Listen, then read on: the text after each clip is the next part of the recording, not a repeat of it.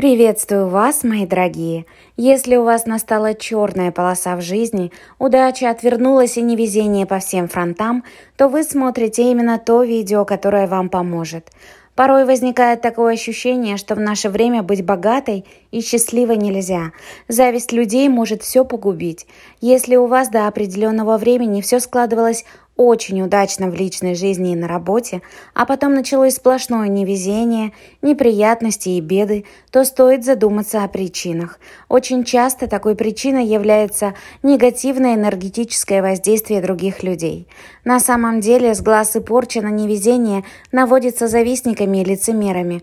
Вспомните, не говорили ли вам, как вы отлично выглядите, как вы остроумны, какая у вас замечательная семья. Если такое случалось, то, вероятно, вы правы в своих опасениях.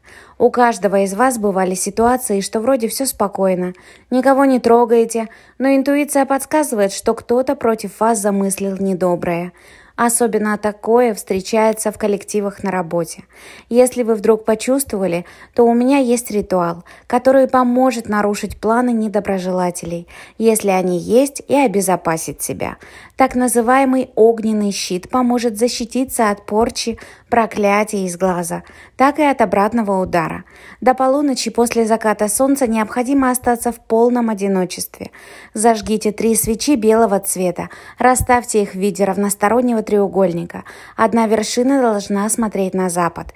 В центре треугольника расстелите кусок белой ткани или платок. Встаньте на него босыми ногами лицом на запад. В одежде не должно быть темных тонов. Лучше длинная ночная сорочка. Закройте глаза и скажите вслух шесть раз такие слова. Огонь красный, огонь ясный, защити меня от злых нападений, от дьявольских наведений. Поставь свой щит спереди, поставь щит позади, поставь щит по бокам, поставь щит по низам и по верхам. Зло от щита оттолкнется, ко мне больше не вернется. Да будет так. Постойте потом так еще пять минут с закрытыми глазами, представляя себя окруженным огненным шаром. Потом свечи затушите и уберите их в укромное место. Материю аккуратно сложите и положите под подушку, и сами сразу же ложитесь спать.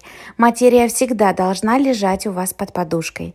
Свечи можно использовать в следующий раз, когда будете ставить щит. Повторяйте ритуал каждые полгода.